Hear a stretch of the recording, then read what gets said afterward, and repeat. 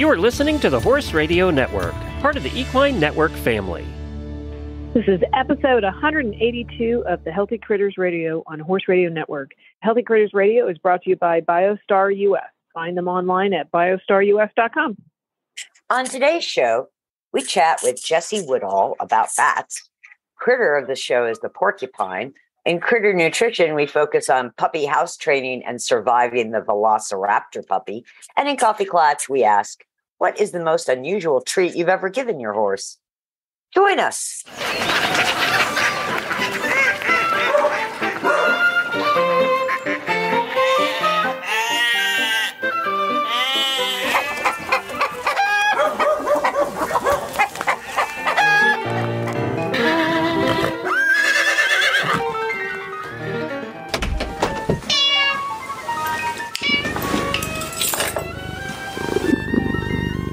Tigger.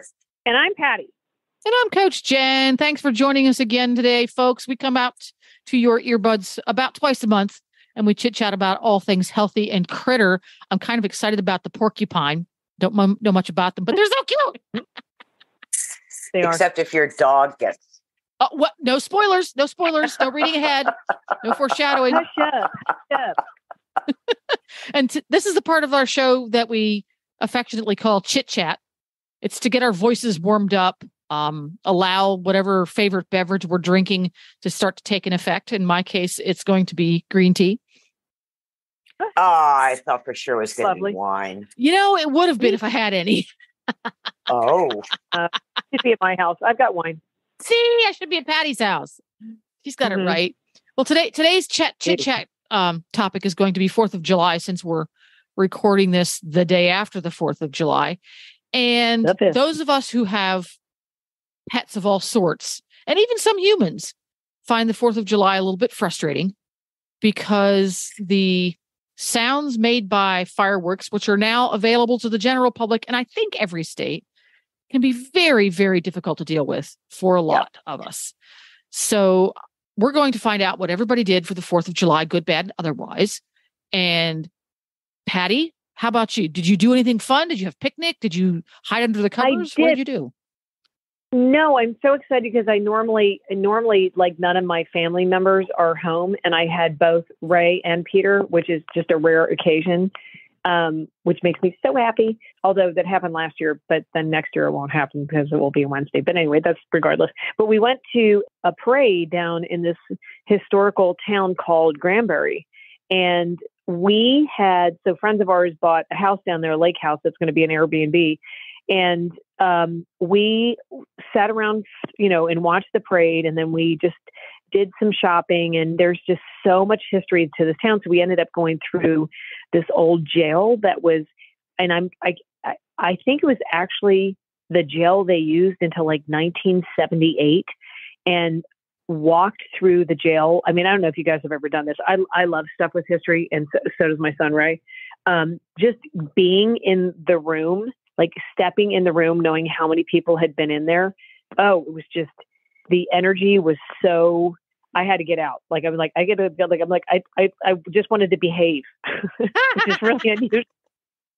It was just it was it was but it was so cool. It's just a lot of fun and um uh and just going around and learning all about the history about where we were and um you know there, there's the, the guys that were at, at the jail were you know they talked about all the the ghost tours they have and the one guy said yeah it's all it's malarkey. There were you know and it was just kind of funny how like you know you, you talk to some of the town people and they're like oh my gosh this is true and the and then the jail guy's like yeah it's malarkey. It never happened. So that part was kind of funny but it was just kind of neat just being able to be outside and looking at all the people that get so serious about just you know being in the parade so it was just it was a it was a great day it's a great day And Tigger? I did nothing. I mean, I stayed home. I weeded. It was great.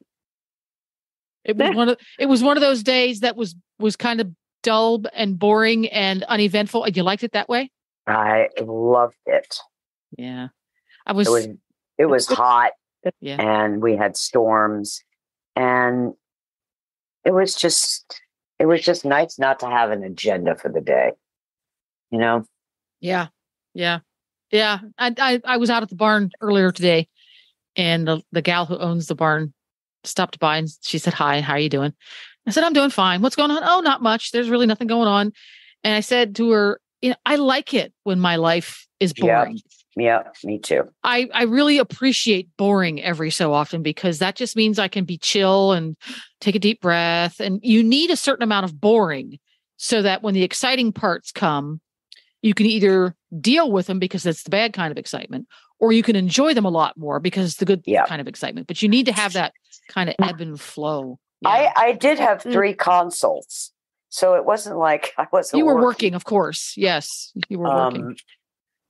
But it was just nice not to have. I've got to do this or I've got to do that or. yeah, yeah. How about uh, you? What did we- you do? we had Yeah. a, a rather boring Fourth of July. We went out and visited the ponies. And right now here in Ocala, Florida, it is a little bit warmer than the surface of the sun.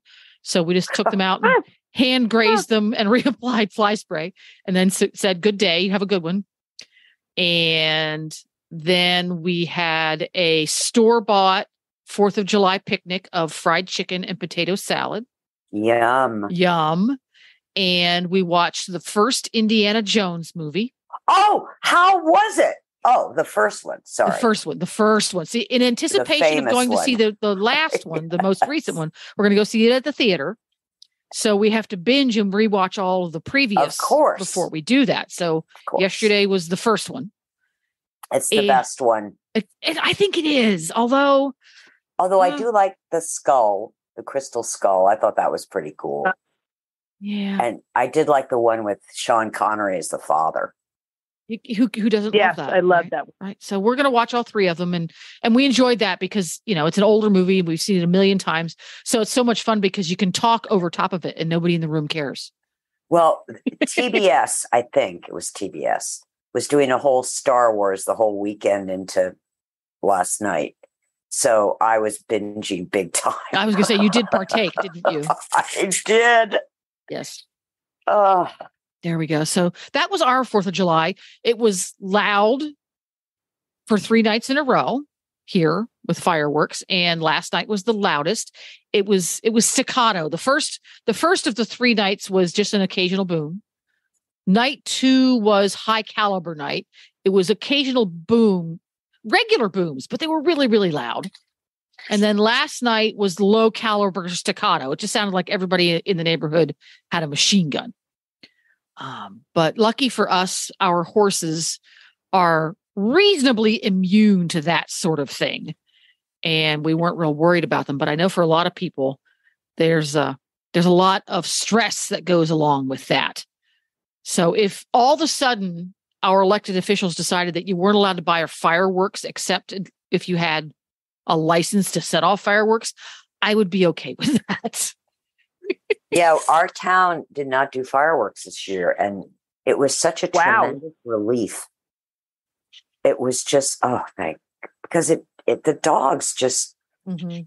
it spooks the horses. The dogs just get shivery and stressed. And yeah I had a neighbor shooting off stupid stuff, but um, yeah.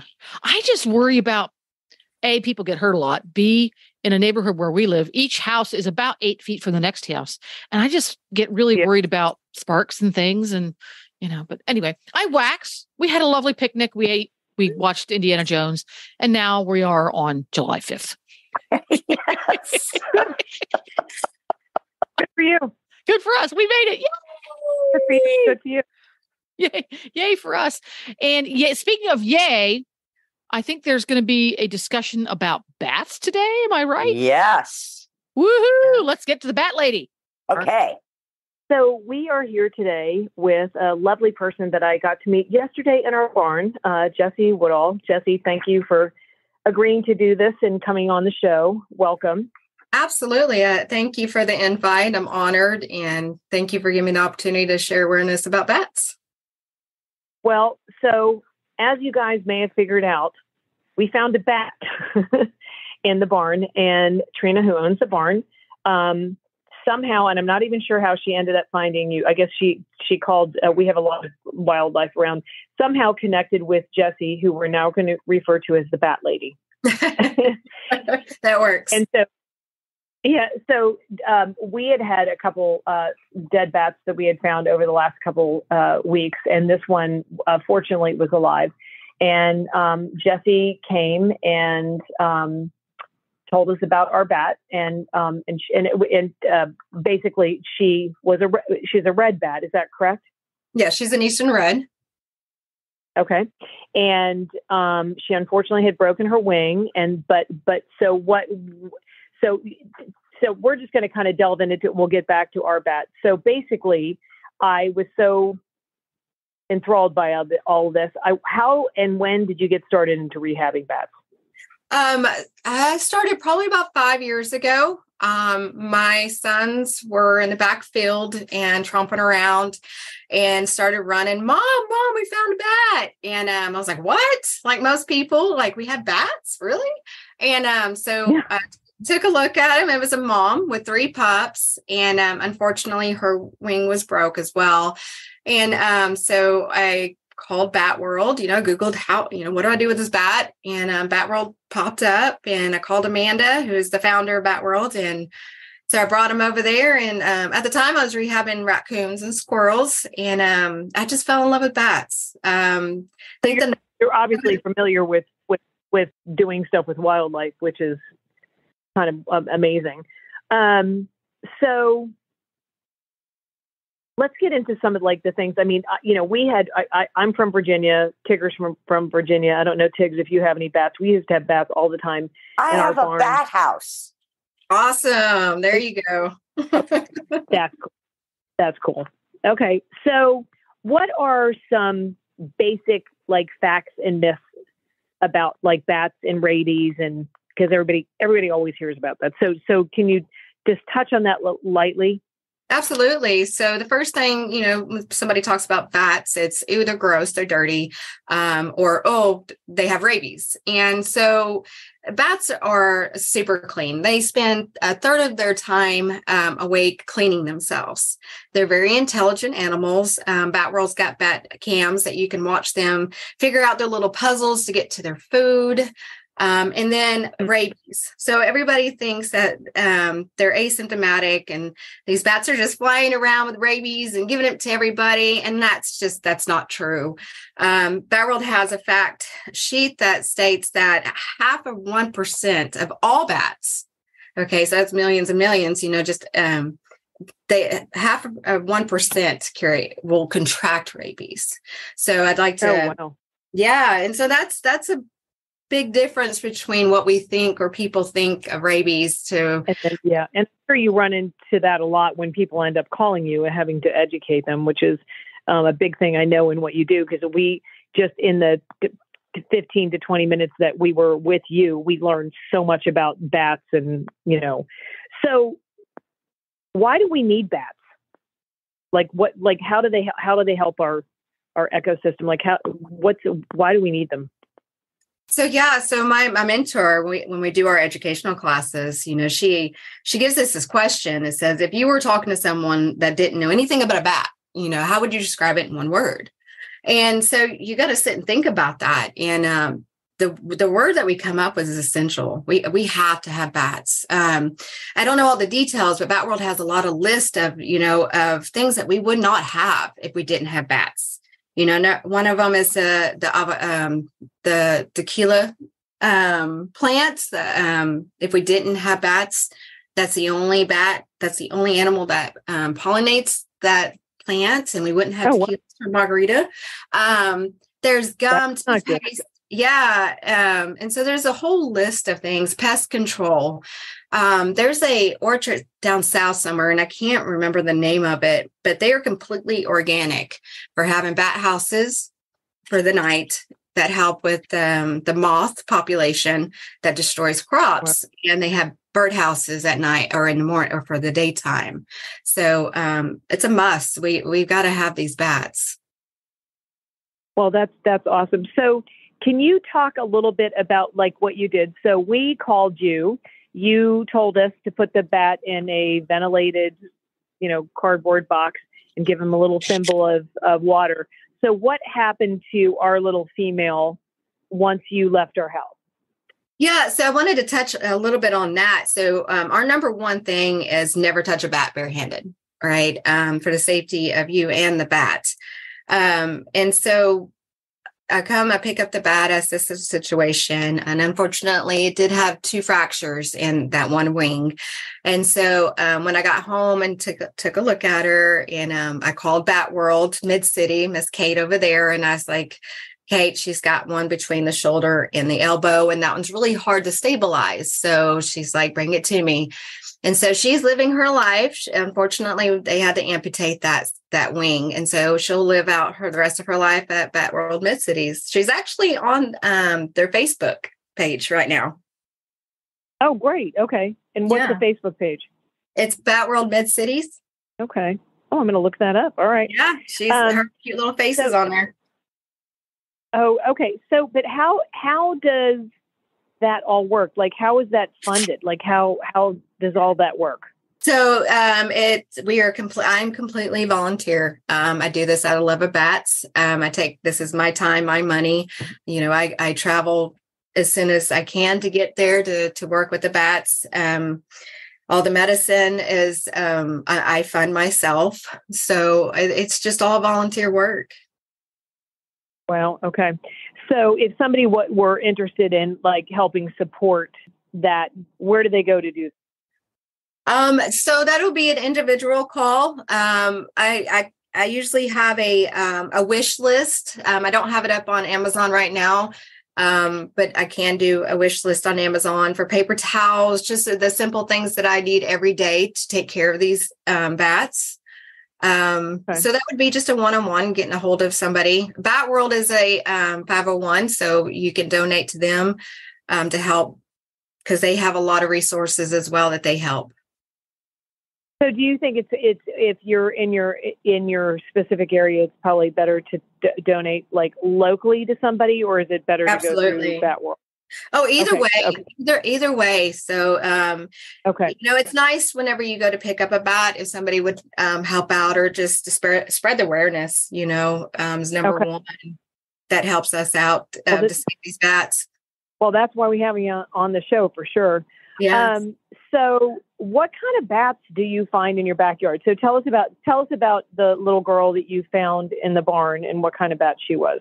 Absolutely. So that's an Eastern red. Eastern red bats are solitaire bats. They um, just hang out by themselves. Um, we have evening bats, which are crevice bats that they colonize. They have um, we have a lot of colonies around here. Um, the Mexican free tails. I've heard that y'all found in, in the barn over there. Um, they're colony bats too, and those are the the colonies down south. Um, we also have tricolors, Seminole bats, silver hairs, um, hoary bats. Hoary bats are beautiful. Y'all get a chance to look them up. They're huge. They're they're pretty. Um, and I think in in our area, that's that's what we usually get in. Okay. May I, may I ask a question? Yes. Yeah. What what can we do to encourage bats in our own ecosystems?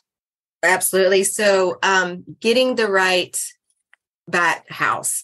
So, um, I've seen many bat houses online um, and in stores, and they're just not made right. Um, batworld.com or bat, batworld.org has um, um, blueprints that shows you um, the right how to, to build it correctly. So you can kind of look at that, and then once you go and look for a bat house to buy, you can kind of compare you know planting native um, plants that attract the moths that um, they like to eat you know number one insect is a moth and uh, mosquitoes um, let's see what is the other one true bugs and stuff like that so just planting things that are native so you don't have to worry about watering you know letting nature take its course um, plants that will help And no Awesome. pesticides. no pesticides, number one. Yes. Sorry, I just hit my desk. That made me excited. I, I have a question too. uh-huh. So are there circumstance I live in a I live in a subdivision. So the houses are 15 feet apart. Yes. Are there things that we can do to help bats thrive in these more urban settings? So um it, It's again, harder, I'm sure. It is it is harder with you know when we have the the houses close together. And you have you know you have pets you know cats cats are number one um predators um of bats. We get a lot of bat uh, cat caught bats. And so it's kind of hard to say yeah go ahead and put up a bat house you know and um you have all these predators. Because they have to be you know 10 15 feet up high um so they have you know room to drop and take flight. Um, so again, I would go back just um, native plants and attracting those bugs, and um, be so that you know we'll have. And go and go to Bat World and make sure you install your bat house correctly. Yes, absolutely. I didn't i didn't realize that they needed that kind of a height, but that makes sense because when they fly away from wherever they've been napping all day, Mhm. they have they're dropping from their little toes because they hang. Yeah. They Yeah. need that height. So if you've got mature, taller trees, that might give you an opportunity. But if you live in one of those kind of a neighborhoods that there's nothing more than six feet off the ground, that Yeah. might not be an ideal situation to put a bat house in because you're just putting that bat at risk if he does decide to use it absolutely for yes. the local predators. So it's Yeah. batworld.com. Is that right? Batworld.org. Yes. Dot batworld.org, which I'm sorry is an awesome website name.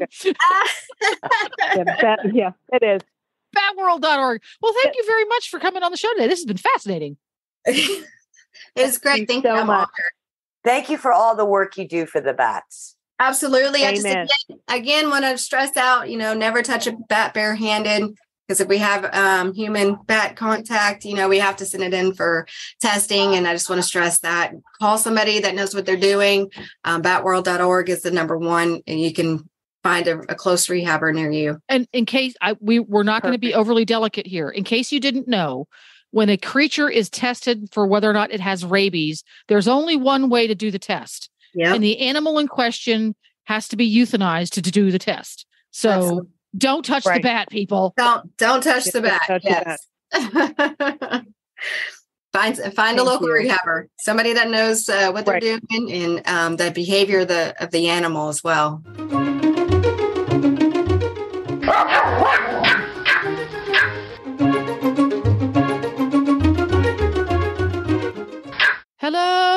Hedwig. Hey! Hola, amigas. Oh, she's she's bilingual now. Multilingual. Multilingual. Bonjour, multilingual.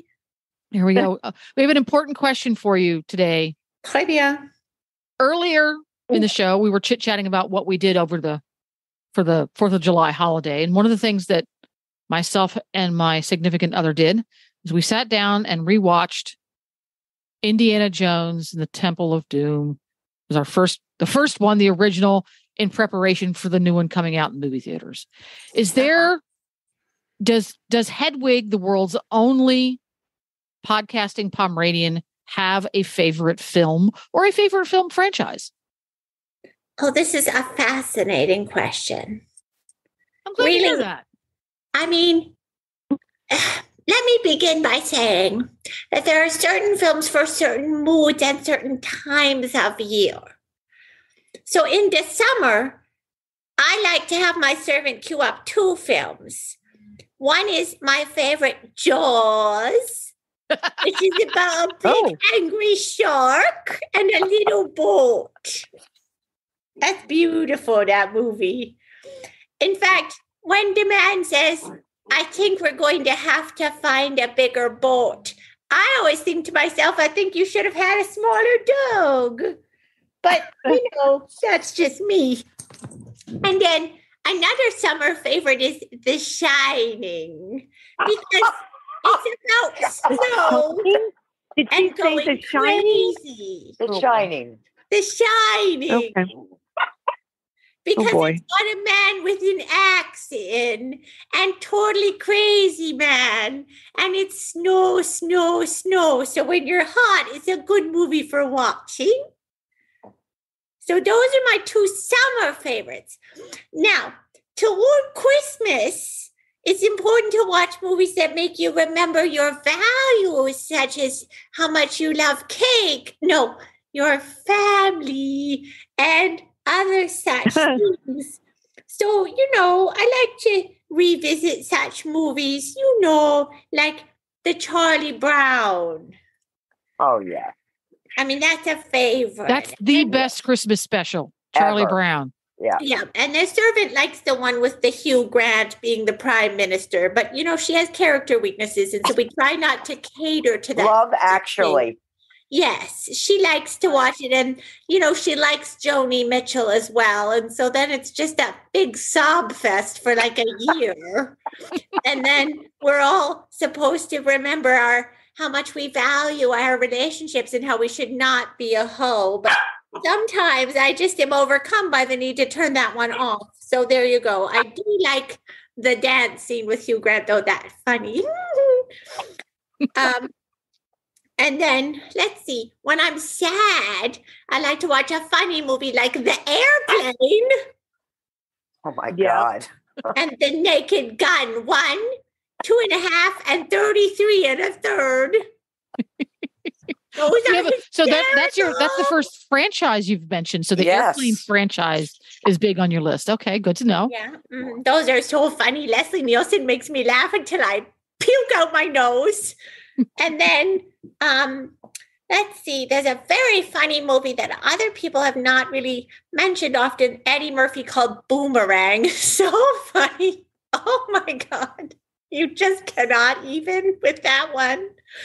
And then when you're looking for satire, the Blair Witch Project is a laugh a minute. I've thought it- I would not have described it, that one as a laugh Me- a minute, but there we go. I'm going to have to but rewatch that with with a laugh a minute in mind. You know Definitely a, a Pomeranian viewpoint. Yes. My servant was thrown out of the theater for laughing through it when it first came out. Well, that's one of those character flaws that you mentioned earlier. Oh, so many, but it is Yes. pretty funny once you realize that it's really just funny. Well, this has been fascinating. Now I, I have added to my list of of films to watch during the summer once while it is appro- the approximate temperature of the surface of the sun here in Ocala, Florida. And thank you very much, Hedwig. the Thanks, Heddie. Shining. The Shining. Bye bye. Bye. And now it's time for the breed of the show. So we are at the porcupine portion of the program, the I didn't prickly even plan that. Portion. The the prickly portion. of the porcupine. So um, this was a Tiggy suggestion, and I think it was a good one. I learned I learned a lot, um, and there's a lot more to learn. And some of it was a little bit over my head, and I need more. I need a year to figure out. But let's just go with the basic stuff I found out. Um, a porcupine is basically a large rodent. Didn't know that. Um, makes sense, but they have sharp spines or quills over its whole body that protects them against predators. There are many different types and families, um, but basically all display the similar coats of a rigid, semi-rigid quill, um, which are modified hair composed of keratin. The largest species of porcupine is the third largest living rodent in the world, which is a I'm not going to say this right, a capybara Capybara. Yes, Capi- from yeah. South America. Yes, yes, indeed.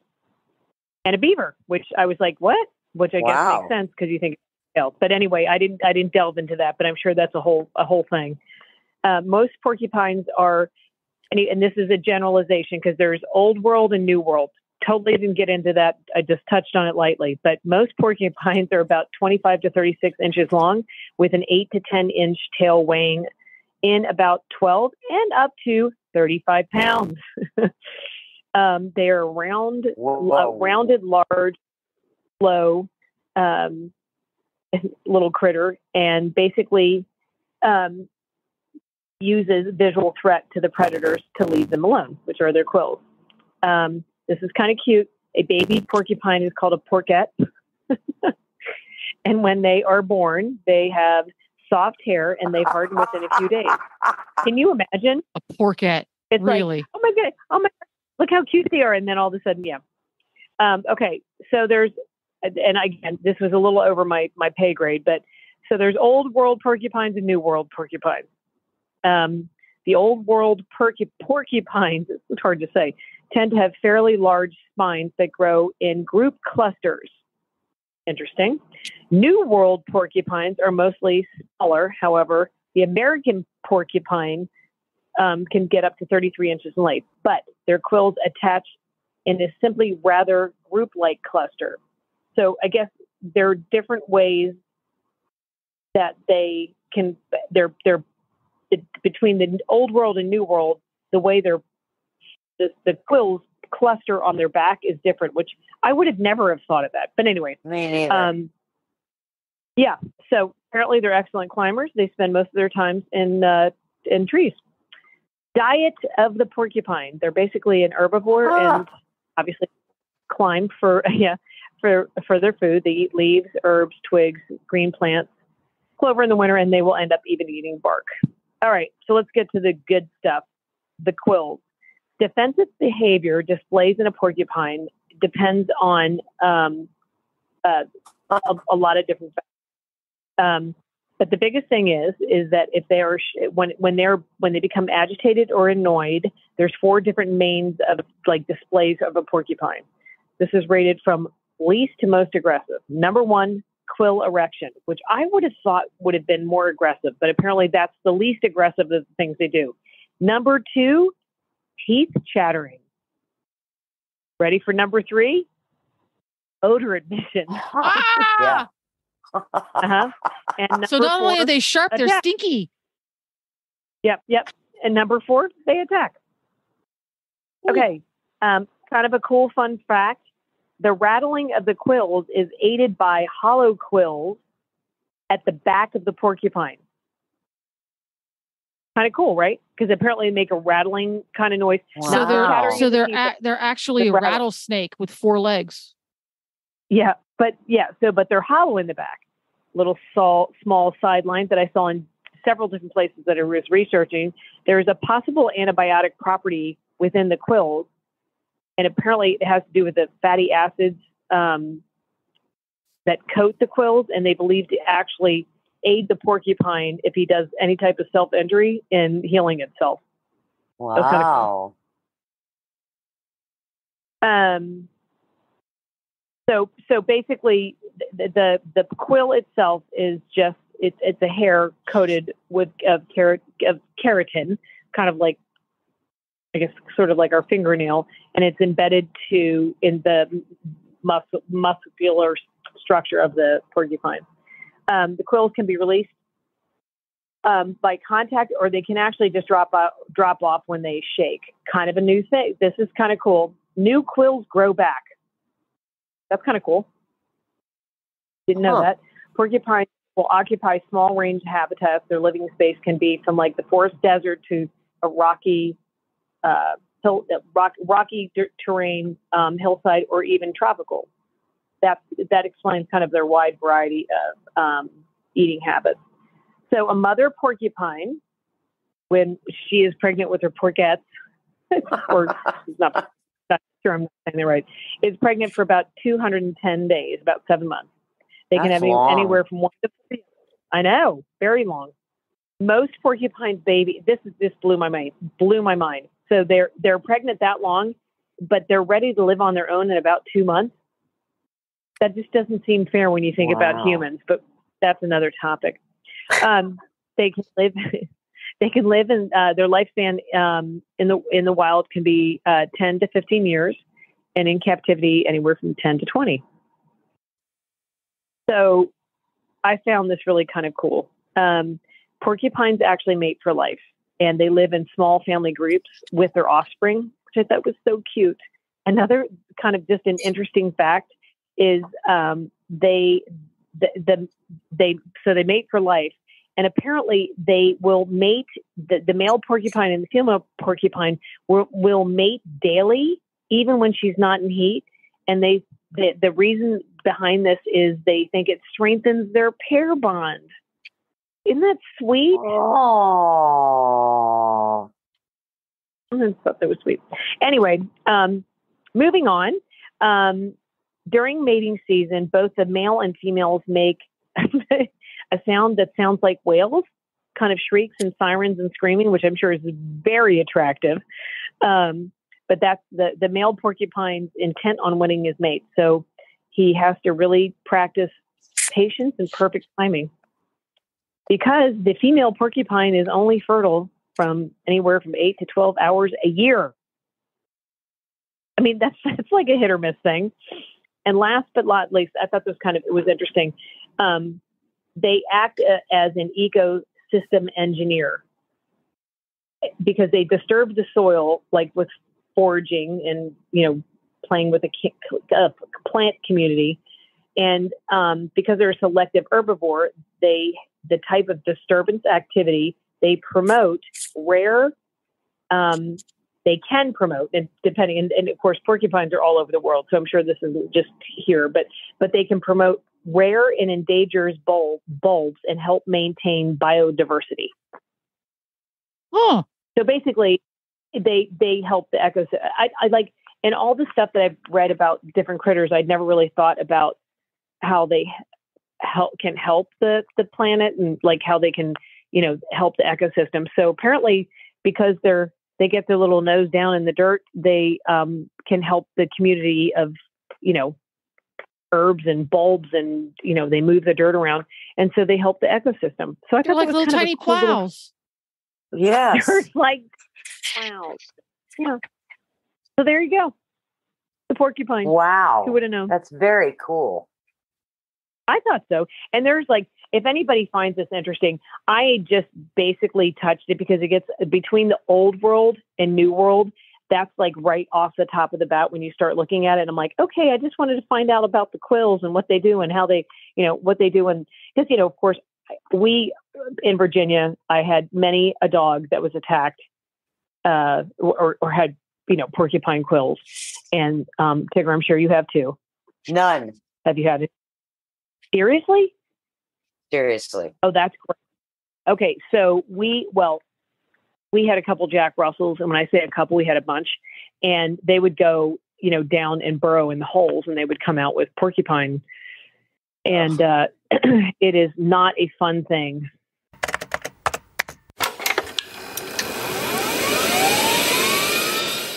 And now we're at Critter Corner.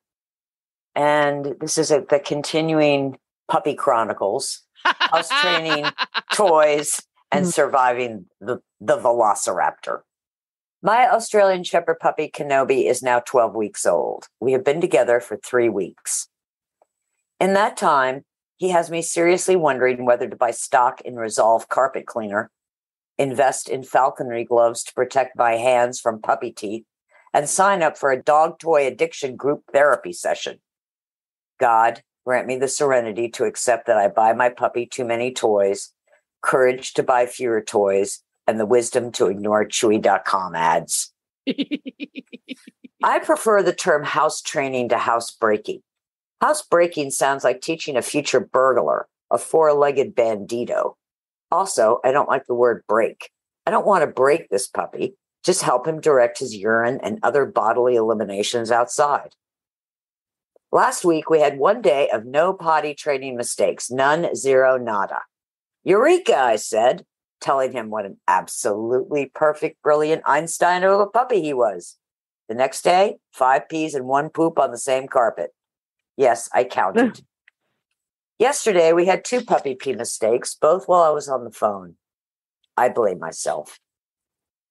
I will say he has not used his crate as an indoor bathroom facility. He can sleep through the night until 5 a.m. or until the adult dogs start answering the coyotes and singing to them at 2 a.m. I rarely use the word no for house training or any other correction. I use uh uh or uh uh or uh oh. I think those sounds make more sense to puppies and adult dogs. I make the sounds quickly and precisely. I don't yell. I don't point my finger at the puppy. As soon as Kenobi responds, I say yes or good boy. I do occasionally get some assistance from the resident hall monitor, also known as Wookie.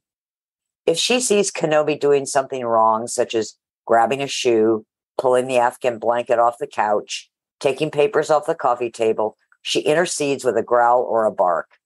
It is very effective. The Velociraptor stage, aka what happened to my cute little puppy. The velociraptor stage is when the puppy turns into a creature from Jurassic Park. The adorable, cuddly puppy is now all teeth with an obsession of putting anything and everything into its mouth. Kenobi is in the velociraptor stage. Teeth like little daggers, piercing hands, fingers, clothes, ankles, and my new Patagonia pants. He tries to chew on rattan, suede slippers, a tasseled rug, Keen's ruff, my bathrobe, my knee brace, sticks, pieces of paper. Did I say my fingers? He has the agility of a velociraptor too, jumping, leaping on me, other dogs, dog gates, chairs, and his assorted toys. Ground rules for velociraptors. I've learned after raising eight Australian Shepherds to have very specific ground rules when it comes to the velociraptor stage. When Kenobi tries to jump on me, I make myself very big, like I am the King Kong of humans. I correct him with eh, and the request for off. He is an Aussie, so he will test me. Does she really mean it? As soon as he stops and either sits or looks at me with all paws on the floor, I tell him how awesome he is and treat. Now, giving treats to a velociraptor requires teaching some basic boundaries. I keep the treat in my fist. He jumps or tries to bite my fist or approach with an open mouth, I pull my fist away. I offer it again, closed fist. And if he just waits, then I open my palm and let him have the treat. The treat is always accompanied with praise. One thing I learned a long time ago with an Aussie you cannot wear a velociraptor out. If these pups get overtired, then you are in deep kimchi. An overtired puppy is like a velociraptor on steroids. The biting, the jumping, the lack of self control gets way worse. And the falconry gloves you saw on Amazon may become a necessity. The best way to decompress a velociraptor puppy is to engage their brain. Puzzles that include food are a great way to get puppies thinking. However, Kenobi so far is not much of a problem solver. He's more of a man of action.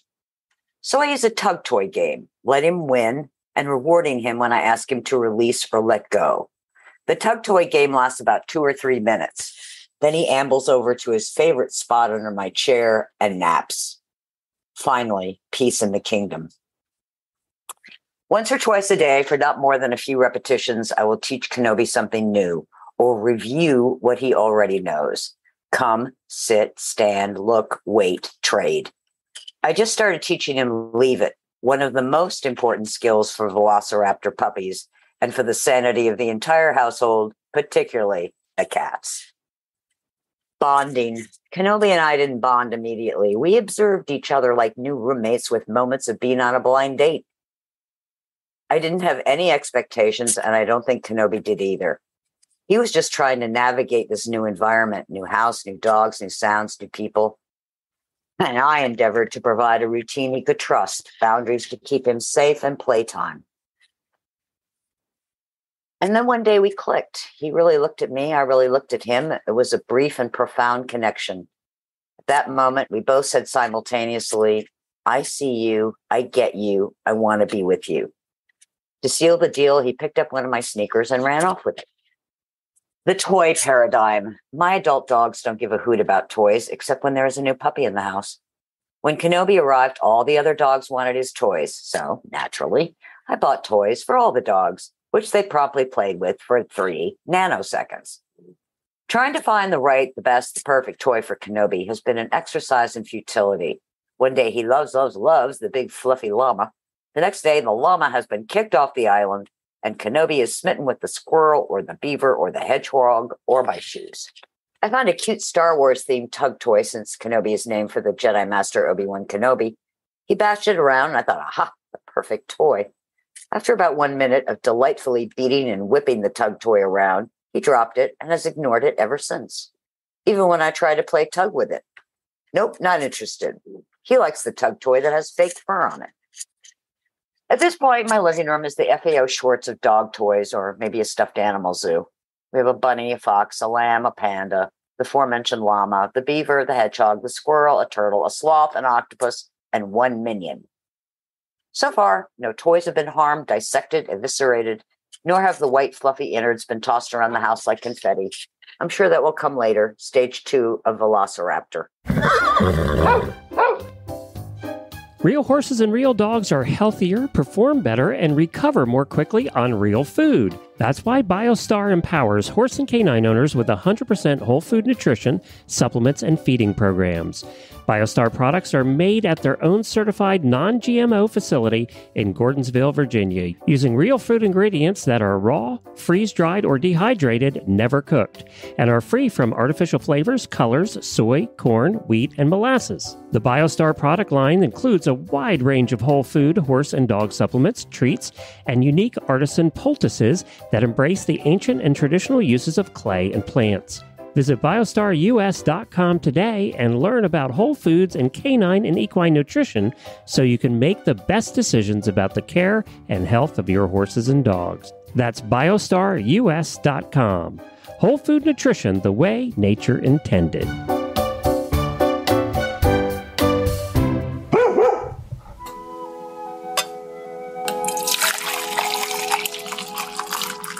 So now we're at Coffee Klatch.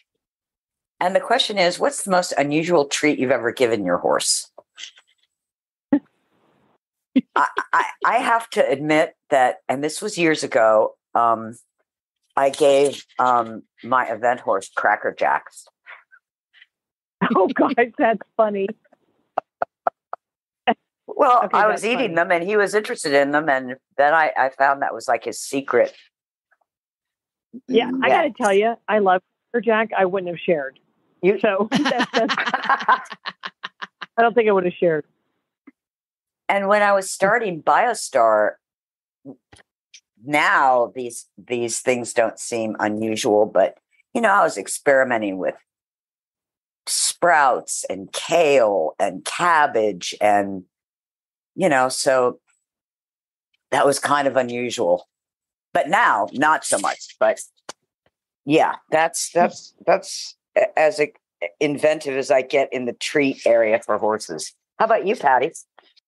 I well, okay. There's a, there's a couple of so a potato chip. I'm just going to say it. A potato chip. I I I had some chips. I had a horse that leaned over and it was like, "Hey, what is it?" And then, which I wasn't completely happy about, but I was like, "Holy cow, that that's completely bizarre." But in the same day that that happened, um, my friend was standing there. We're we're eating sandwiches, and her horse leaned over and took a bite of her like turkey club sandwich and wanted to eat more of it. Not No. not kidding, not kidding.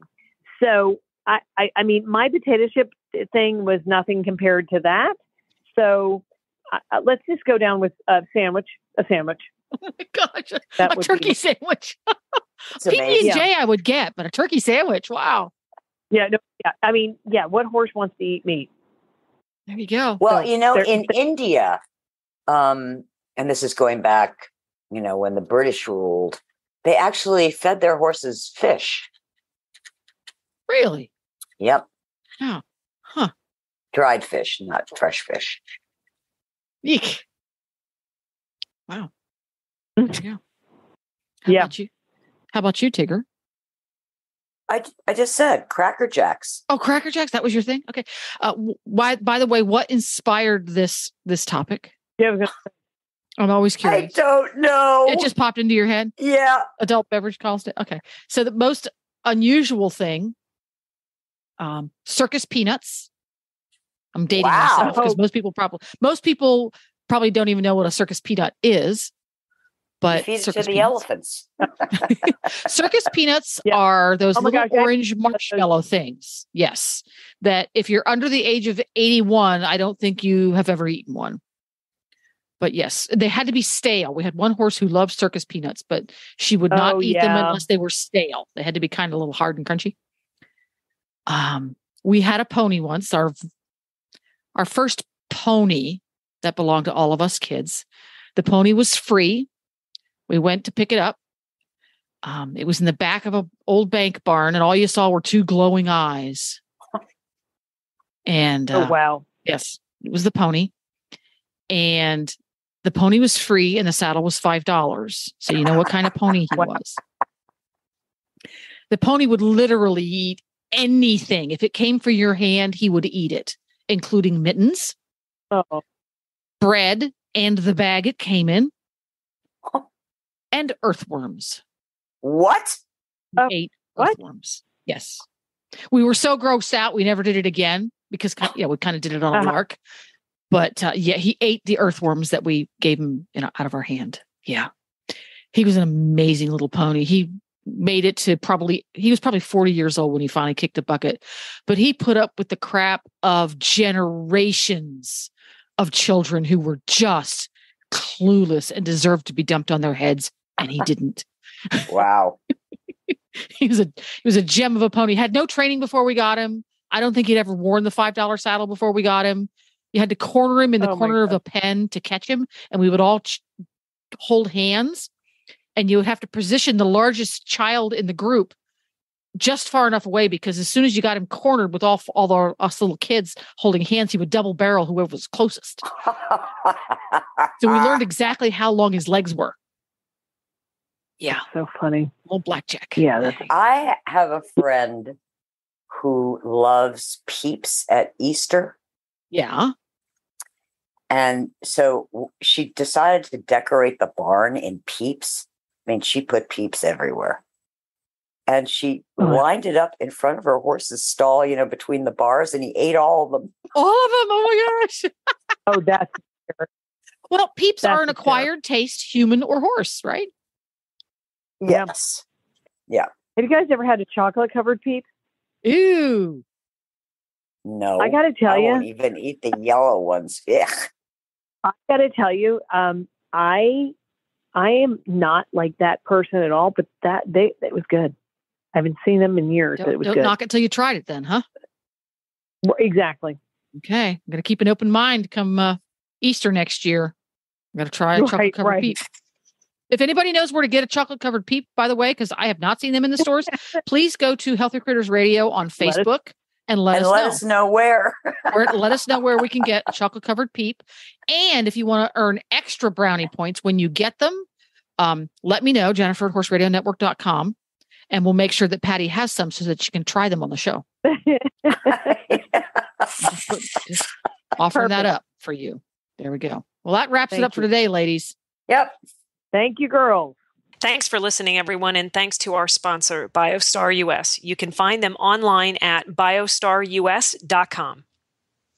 Get the Horse Radio Network phone app on iOS or Android by searching for Horse Radio Network in the App Store. It's free and easy to use. For details about today's show, go to healthycrittersradio.com where you can find links, photos, and more information about our guests. As always, we love your feedback. Please follow us on Facebook under Healthy Critters Radio. Be sure to visit all the great shows on Horse Radio Network at horseradionetwork.com. Love your dog. Hug your horse, Feed your chickens. clean your litter box, Dance with your goat. slither with your snakes, Howl at the moon. hang with your hamster, Party with your parrot. waddle with your walrus, Outwit your otter. Cuddle your cows, Rap with your raptor. go chipping with your chipmunks, Forgive your fox. while hedging your hog, We also recommend that you rack with your raccoon. gyrate with your giraffe, Meditate with a meerkat. Uber with your orangutan, Facebook with your flamingo. ponder with your panda, Walk with your Wookie.